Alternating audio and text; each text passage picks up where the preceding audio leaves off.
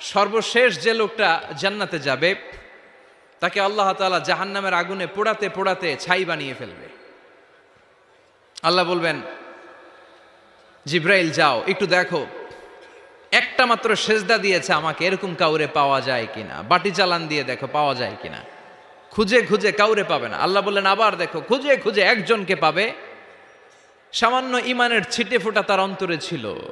আল্লাহ বলবেন, যেহেতু ছিটে ফোটা আছে, অনেক মায়ের খাইছে। ওকে বের করে জাহান্নাম থেকে বের করে একটা নির্ধারিত দূরত্বে রেখে দাও। রেখে দেয়া হবে। কিন্তু জাহান্নামের আগুনের লেলিহান শিখাতে তার গা ঝলসে যাবে। সে আল্লাহর ডেকে বলবে, মাবুদ, তোমার কাছে আমি কিছু চাই না। জাহান্নাম থেকে তুমি আমাকে বের করেছ, জীবন নদীর পানি তুমি আমার গায়ের মধ্যে ঢেলে দিয়েছ। আমি আবার সজীবতা ফিরে পেয়েছি, আমি তোমার কাছে জান্নাত চাই না। শুধু নিরাপদ একটা দূরত্বে আমাকে রেখে আসো, যাতে জাহান্নামের আগুন আমারে কষ্ট দিতে না পারে। আল্লাহ, আমি কিন্তু তোমার কাছে জান্নাত চাই না। কি চাই না? জান্নাত চাই না। কিন্তু জাহান্নামের আগুন আমারে কষ্ট দিচ্ছে, এতটা দূরত্বে রাখো, যাতে জাহান্নামের আগুন আমার গায়ে না লাগে। আল্লাহ বললেন ওকে রাখব, কিন্তু আমার সাথে একটা কন্ট্রাক্টে যেতে হবে। যে এটা তোমাকে দিলে তুমি আর নতুন করে কিছু চাবা না। সে বলবে, আমি রাজি। কন্ট্রাক্ট হয়ে যাবে। আল্লাহ জিব্রাইলরে বলবেন, যাও, এমন দূরত্বে রাখো যাতে জাহান্নামের আগুন ওরে কষ্ট না দেয়। রেখে আসা হবে। অনেক দিন সে ওখানে আনন্দে থাকবে। আল্লাহ শুক্রিয়া করবে। সে মনে মনে বলবে, বেঁচে গিয়েছি আমি। বেঁচে গিয়েছি, জীবনে আর কিছু চাই না। জাহান্নাম থেকে আমি বেঁচে গিয়েছি। অনেকদিন থাকার পরে মনে মনে ভাববে, বাইসা তো গেছি। কিন্তু নতুন করে একটু ট্রাই করে দেখি। জাহান্নামের সৌন্দর্যের দৃশ্য একটু চোখ দিয়ে অবলোকন করা যায় কিনা। সে আল্লাহরে ডেকে বলবে, আল্লাহ, এন্দি সোয়াল, আমার একটা ফরিয়াদ আছে। কি ফরিয়াদ? আল্লাহ, আগেই বলে রাখি, আমি কিন্তু জান্নাতে যেতে চাই না। আল্লাহ বলবেন, কি চাও? সে বলবে, আল্লাহ, তোমার জান্নাতটা তুমি কত সুন্দর করে বানিয়েছো, আমি একটা নজর শুধু দেখতে চাই। জান্নাতের দরজার সামনে নিয়ে যদি আমারে বসিয়ে রাখো দ্যাটস ইনাফ আর কিছু চাই না। শুধু জান্নাতের দরজার সামনে। আল্লাহ বললেন, তুই না ওয়াদা করেছিস? তুই না চুক্তি করেছিস? সে বলবে, আল্লাহ আমারে হতভাগা বানাইয়া তোমার কি লাভ? সুমান আল্লাহ পড়েন। আমারে তুমি হতভাগা বানিও না, আল্লাহ বলে, ঠিক আছে, আবার সিগনেচার কর। যে জান্নাতের দরজার সামনে বসিয়ে দিলে আর কিছু চাবি না। সে সিগনেচার করে বলে, আমি চাবো না। আল্লাহ বললেন, জিব্রাইল বেচারারে ধরে জান্নাতের গেটের সামনে বসায় দে। এবার জান্নাতের গেটের সামনে বসে বসে জান্নাতের সৌন্দর্য দেখা শুরু করবে সুহান আল্লাহ এমন সৌন্দর্য যেটা চোখ দিয়ে কেউ দেখে নাই, কান দিয়ে শোনে নাই, ওই সৌন্দর্য চোখে দেখে, কান দিয়ে আওয়াজ শুনে মাগার ভোগ করতে পারে না। অন্তরে জ্বালা আছে না নাই? এয়ার কন্ডিশনের রুমে ঢুকতে না পারলেও এয়ার কন্ডিশনের রুমের দরজার বাইরে দাঁড়ালেও এয়ার কন্ডিশনের রুমের একটা ঠান্ডা বাতাস গায়ে লাগে না? কথা বলেন? তো ও যখন জান্নাতের দরজার সামনে দাঁড়াবে, ওর গায়েও এরকম জান্নাতের ঠান্ডা বাতাসের হিমেল ছোঁয়া গাটাকে শীতল করে দিবে। ওই শীতল হয়ে যাওয়ার পরে আর তো সহ্য হবে না, আবার আল্লাহরে ডাকবে। মনে মনে ভাববে আর একটু ট্রাই করি না, দোষ কি? আস্তে আস্তে অনেক দূর তো আগাইছি। সুবান আল্লাহ করবেন না? এবার আল্লাহরে বলবে, আল্লাহ আইন্দি সোয়াল। আল্লাহ, তুমি যদি কোনো বিষয়ে নতুন করে ডিসিশন নাও, তোমারে জিজ্ঞেস করার মতো কি কেউ আছে?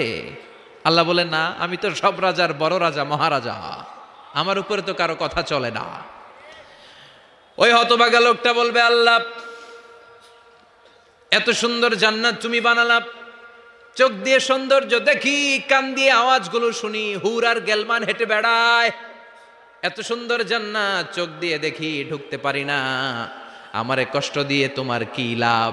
ও আল্লাহ, আমারে তুমি মাফ করে দাও। জান্নাতের চিপার মধ্যে এক কর্নারে তুমি একটু আমারে জায়গা করে দাও। আল্লাহ বলবেন ওয়াই হাক ইয়াবনা আদম, তোর ধ্বংস হোক হ্যাঁ আদম জাত। মা আগদারাকা, তোর চেয়ে বড় গাদ্দার আমি আমার সৃষ্টিকুলে কাউরে দেখি নাই। কারণ তুই আমার সাথে চুক্তি করিস আর চুক্তি ভঙ্গ করিস। আল্লাহর রহমতের দরিয়ায় তখন জোশ খেলে যাবে। ওর আকুতি, মিনতি, চাহনি আল্লাহর রহমতের দরিয়ার মধ্যে জোশ লাগিয়ে দিবে। আল্লাহর দয়া হয়ে যাবে, মায়া হয়ে যাবে। আল্লাহ বলবেন, ঠিক আছে, জান্নাতে যা। লোকটা এবার এক দৌড়ে জান্নাতের ভিতরে ঢুকে যাবে। লোকটার দৌড় দেখে আবার লোকটারে আল্লাহ ডেকে বলবে, একটু দাঁড়া একটু দাঁড়া। জান্নাত তো দিছি, তো দৌড় দিলি কেন? সুমান লাগবেন না? লোকটি বলবে, আল্লাহ প্ল্যান তো আমি কম করি নাই।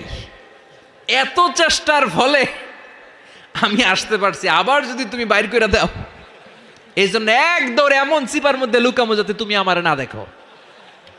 আবার আল্লাহর রহমতের দরিয়ায় জোশ খেলে যাবে, আল্লাহ কাছে ডাকবে, কাছে আয়।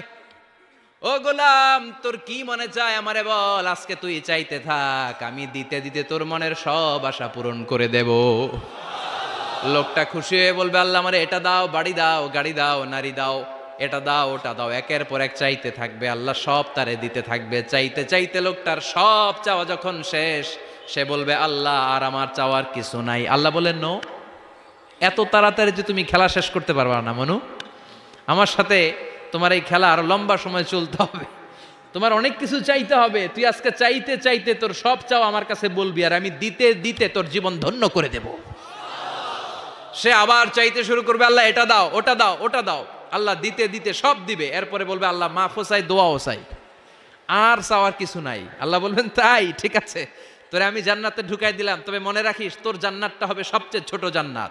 আর তোর জান্নাতটা হবে এই পৃথিবীর দশ গুণ চিল্লা এখন সুবহান আল্লাহ বুখারির বর্ণনা আখেরুমান দাখালাল জান্না যে লোকটা সর্বশেষ অনেক মায়ের খাইয়া রিমান্ডে থাকার পরে জান্নাতে ঢুকবে। তার জান্নাতটা যদি পৃথিবীর দশ গুণ হয়, তাহলে আমাদের সবাইরে ফেরদাউসে ঢুকাতে আল্লাহর কোনো সমস্যা আছে? চিল্লায় বলেন, সমস্যা আছে? এজন্য আমরা আল্লাহর কাছে কোন জান্নাত চাই? কথা বলেন? রব্বুল আলামিন বলেন ওয়াসিকাল্লাযীনা ইত্তাকাও রাব্বাহুম ইলাল জান্নাতি যুমারা হাত্তা ইযা জাউহা ওয়া ফুতিহাত আবওয়াবুহা ওয়া ক্বালা লাহুম খাজানাতুহা সালামুন আলাইকুম তিবতুম ফাদখুলুহা খালিদিন